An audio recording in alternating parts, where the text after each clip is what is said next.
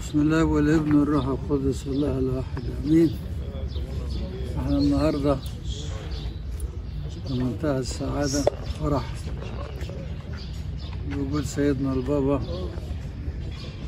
والاباء الأسقفة في رحاب دير السريان. دير السيده العذراء في هذا التقليد الجميل. في شم النسيم. واحتفال شم النسيم في دير السريان له تاريخ طويل. يقرب من ثلاث أرباع قرن من الخمسينات لغاية دلوقتي. وحصل فيه تطورات كتير بدأ برهبان الدير. وبعد كده بعض الأسقفة أسقفة الدير كده البابا شنودة والأسقفة كنا نقعد على الحصيرة. يعني حفلة بسيط لغاية ما وصل لهذه الدرجة اللي سيدنا البابا في كل مرة.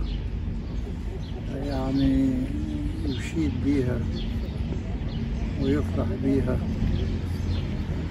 وكل الآباء بيسعدوا بوجودهم معانا في هذا الاحتفال الروحي الجميل.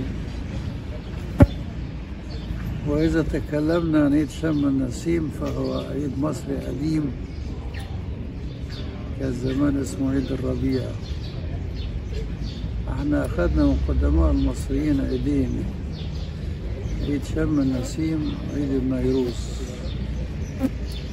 لهم آلاف السنين. بس عيد شم النسيم كان دايما بيبتدي أو يكون ميعاده واحد وعشرين مارس. لكن لما بقى واحد وعشرين مارس دايما يجي في الصوم الكبير وحولوه الكنيسة حولته إلى ثاني يوم عيد شم النسيم عشان ناكل فيه الأكلات التقليدية مثل الفسيخ والبصل والبيض. الأكلات التقليدية اللي من زمان جدا. ياكلوها أجدادنا قدماء المصريين ولكل من هذه الأكلات معاني روحية. البيض مثلا يرمز للقيامة. البيضة يطلع منها كتكوت رغم إنها مقفولة زي المسيح. وطلع من الأب وهو مغلق.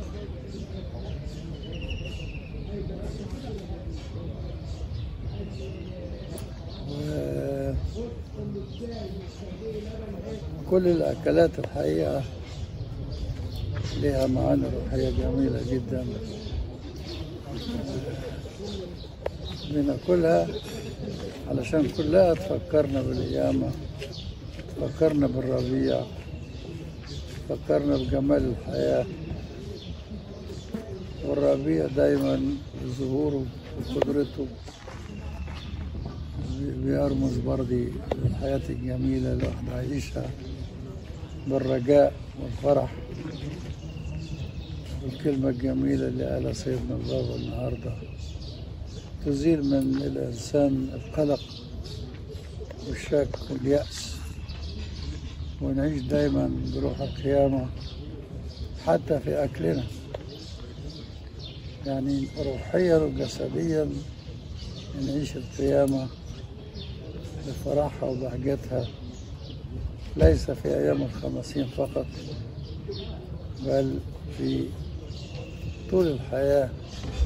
نعيش بروح القيامة ونعيش بروح الربيع اللي دايما عيد القيامة يجي في فترة الربيع ونقول البابا كل سنة قداستك طيب بخير يا سيدنا البابا. وتعيش للكنيسة ونهنئ الآباء الأساقفة كلهم. ونهيئ نهنئ الكنيسة والمسيحيين كلهم في مصر. وخارج مصر. لهذا العيد الكبير اللي بنسميه العيد الكبير. وعيد القيامة المجيد.